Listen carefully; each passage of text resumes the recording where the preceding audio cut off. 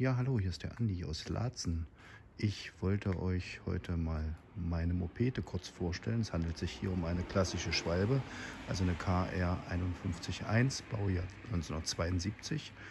Die habe ich ungefähr vor fünf Jahren erworben und habe sie selbst quasi aus einem äh, Stück Altmetall und einem Schrottmotor wieder äh, bisschen aufgehübscht, technisch in Ordnung gebracht und ja, fahre seitdem immer mal wieder ein paar Kilometer im Sommer damit spazieren. Allerdings nur bei schönem Wetter.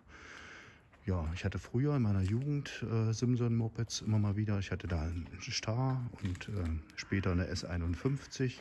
Die Schwalbe selbst war ja zu DDR-Zeiten eher bei Jugendlichen verpönt. Das war so das alte Herrenfahrzeug, beziehungsweise das äh, Fahrzeug unserer ABVs, also der Abschnittsbevollmächtigten. Heute gibt es sowas ja wieder als Kontaktbeamter im Wohngebiet, aber die fahren natürlich nicht mit Schwalbe. Wobei, wer weiß, vielleicht ja bald mit E-Schwalbe.